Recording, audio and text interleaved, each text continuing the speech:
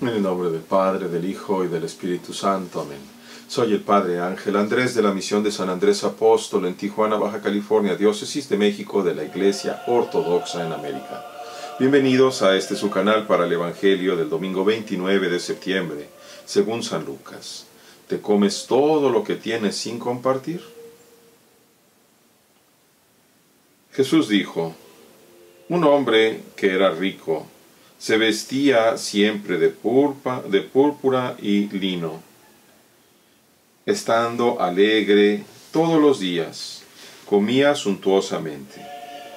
Un hombre pobre, de nombre Lázaro, que estaba tirado en la puerta de la casa del rico, estaba cubierto con heridas y deseaba ser alimentado de lo que caía de la mesa del rico y aún los perros venían a lamerle las heridas.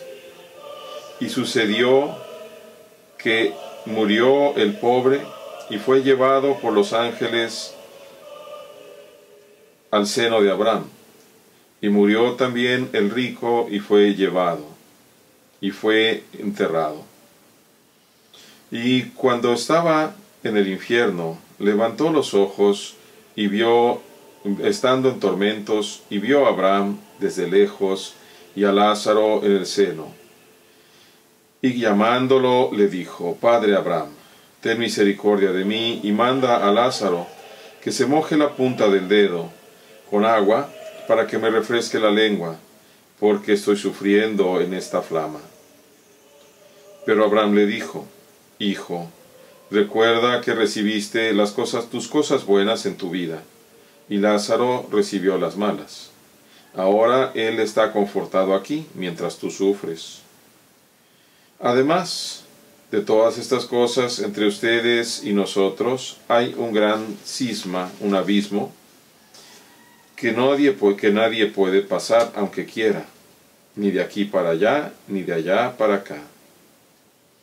Entonces él le dijo, Te pido, Padre, que lo envíes a, mi, a la casa de mi padre, porque tengo cinco hermanos, para que les avise y no vengan a parar en el mismo lugar de tormento que yo. Abraham le contestó, ellos tienen a Moisés y a los profetas, que los escuchen. Pero él dijo, no, padre Abraham, si alguien de entre los muertos va a decírselos, se arrepentirán. Pero él les dijo, si no escuchan a Moisés y los profetas, tampoco lo harán cuando un muerto se levante, ni, se ni, ni lo creerán. Gloria a ti, Señor Jesús, gloria a ti. Cada vez que leo esto me acuerdo de un buen amigo mío que le gusta comer muy bien. Tiene un excelente asador eh, realmente en su patio, un asador bajo techo construido en concreto, muy bien hecho. Mi amigo, gracias a Dios, tiene muchas bendiciones, económicas sobre todo. Me acuerdo de esas tardes de carnes asadas, de langostas asadas y demás, que solía invitarnos, cuando yo todavía frecuentaba mucho esta cuestión. Y pienso precisamente en este hombre rico. Pienso también en todos los demás que nos reuníamos a comer hasta hartarnos. Y por eso la pregunta, ¿te comes todo lo que tienes sin compartir? Qué hermoso es comer suficiente, guardar un poco para ir a entregarlo con alguien que tiene hambre. Y qué alegría para ese a quien tú le das recibir lo que no esperaba, porque tú has querido compartir un poco de todas las bendiciones que Dios te da. Las palabras de Jesús el día de hoy en el Evangelio, puestas en boca de Abraham, son muy duras. Hijo, acuérdate que tú recibiste todos tus bienes en tu vida, en cambio Lázaro recibió males. Podríamos añadir, tú nunca hiciste algo para ayudar a tu hermano por eso ahora sufres. Por eso ahora estás recibiendo el castigo. porque no supiste ser misericordioso, porque no supiste dolerte por tu hermano. Y fíjense bien que no dice Dios que le tenía que haber dado todo, sino que el Señor dice, deseaba llenarse con casi la basura, es decir, aquello que se le caía al rico. ¿Qué dificultad tienes tú para compartir tus cosas? ¿Qué dificultad tienes en lugar de tirar las bolsas de comida que no te comiste a la basura o echárselas a tu perro? ¿Por qué no preparas una parte de tu comida y vas y la entregas a aquel que tiene más hambre? ¿Te cuesta trabajo? Claro que nos cuesta trabajo. Nos tenemos que molestar en pensar en dónde pudiera haber a un pobre. Hay muchísimos en cualquier parte.